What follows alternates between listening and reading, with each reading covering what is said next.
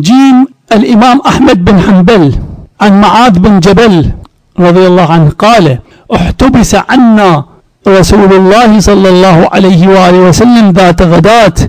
أين أي ما بين الفجر وطلوع الشمس؟ في صلاة الصبح حتى كدنا نتراءى قرن الشمس فخرج رسول الله صلى الله عليه وآله وسلم سريعا فثوب بالصلاة أي أقام الصلاة وصلى وتجوز في صلاته أي خفف في صلاته. فلما سلم قال صلى الله عليه وآله وصحبه وسلم كما أنتم على مصافكم. أي كما أنتم على صفوفكم وعلى مواضعكم. ثم أقبل إلينا فقال صلى الله عليه وآله وصحبه وسلم سأحدثكم ما حبسني عنكم الغداة.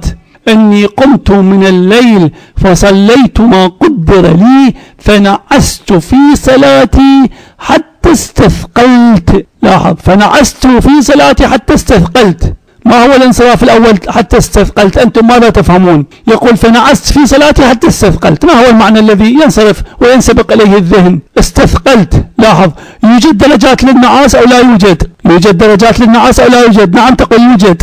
إذا هذه من أعلى درجات النعاس من أثقل درجات النعاس. يقول فنعست في صلاتي حتى استثقلت أي حتى استثقلت النعاس أي حتى استثقلت النعاس أي وجدته ثقيلا أو شعرت بثقله أو صار ثقيلا أو صار شديدا أو صار مرهقا. وهذا المعنى هو الأظهر والأسبق للذهن والأقرب من معاني استثقل في النوم أو الأقرب من معنى استثقل في النوم لأن هذا يحتاج للتقدير. يقول فنعست في صلاتي حتى نمت. منتهى الأمر. لو كان يراد به النوم لقال فنعست في صلاتي حتى نمت. لكنه لم يقل ولم يأتي بذكر النوم. قال حتى استثقلت.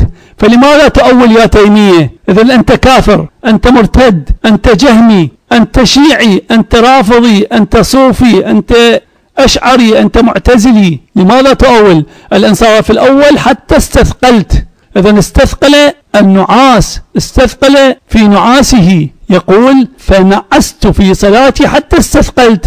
إذا يوجد نوم؟ لا يوجد نوم. يقول فإذا أنا بربي عز وجل في أحسن صورة. لاحظ فجأة إذا لاحظ هنا فإذا أنا بربي إذا فجأة يأتي. لا يوجد فجأة في المنام الآن هو يتحدث عن يقظة يتحدث عن حاله يصف حاله. يقول نعست ثقل علي النعاس استثقلت النعاس فإذا بربي فإذا أنا بربي لاحظ فإذا أنا بربي. لاحظ هو لا يتحدث عن حالة نوم وفي النوم حدثت عنده هذه الفجأة والمفاجأة. يتحدث في حالة يقظة وحصل عنده نعاس يقول فإذا أنا بربي. التفت جيدا. فإذا أنا بربي. إذا يتحدث عن نفسه عن ذاته في حال اليقظة يقول فإذا أنا بربي عز وجل في أحسن صورة. فقال تعالى يا محمد فيما يختصم الملأ الأعلى فيما يختصم الملأ الأعلى قلت لا أدري رب.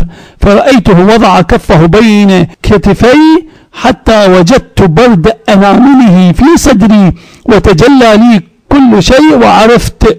وقال رسول الله صلى الله عليه وآله وسلم إنها حق فادرسوها وتعلموها. إنها حق فادرسوها وتعلموها. أخرجه الإمام أحمد في المسند جزء خامس والترمذي في سننه. الجزء الخامس في التفسير سورة صاد وقال هذا حديث حسن صحيح.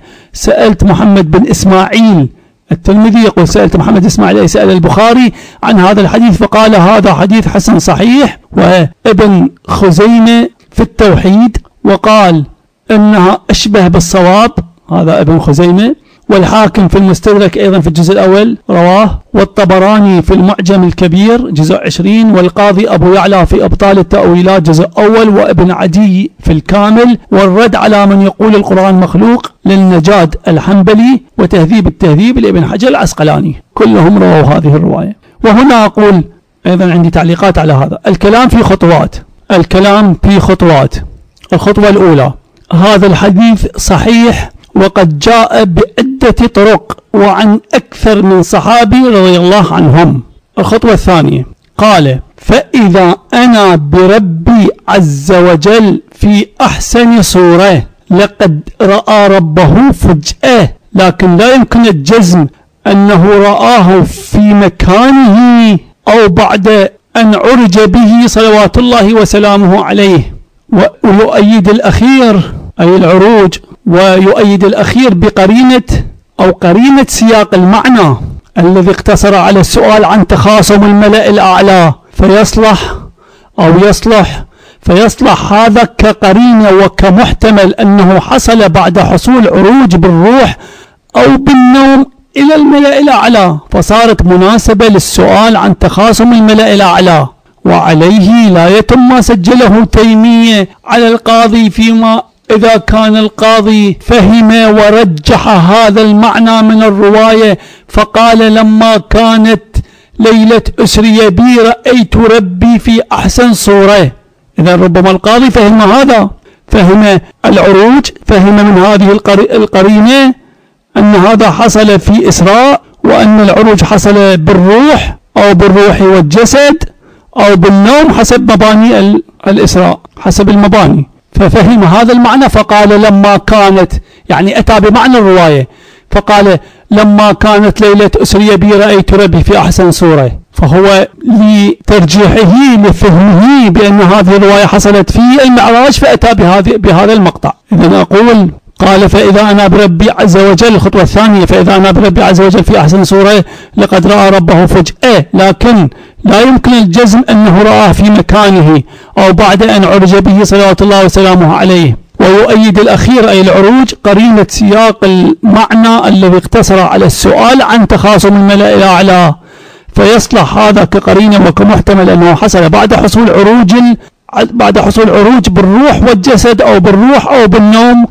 حسب المباني. إلى الملأ الأعلى فصارت مناسبة للسؤال عن تخاصم الملأ الأعلى وعليه لا يتم ما سجله تيمية على القاضي فيما إذا كان القاضي فهم ورجح هذا المعنى من الرواية فقال لما كانت ليلة أسري بي رأيت ربي في أحسن صورة. الخطوة الثالثة. أقول على فضل رواية معاذ هذه. فإنه لا يتم ما قاله شيخ التيمية أن ربه أتاه في المنام وقال له هذا ووضع يده بين كتفيه. فلا يوجد في الرواية لفظ نوم أصلا. وللدلالة على النوم فلا بد أن يخالف التيمية أصلهم التكفير الخرافي بمنع وتحريم التأويل. فيلتجئون للتأويل وتقدير لفظ ومعنى النوم. فيبني على أن المراد من قوله فنعست في صلاتي حتى استثقلت هو حتى نمت واستثقلت فنعست في صلاتي حتى نمت واستثقلت في النوم وليس حتى استثقلت النعاس إذا نحتاج إلى تأويل فإذا أول فليكفر نفسه قبل أن يكفر الآخرين وليحكم بكفره وبإباحة دمه وعرضه وماله قبل أن يبيح دماء وأعراض وأموال الآخرين.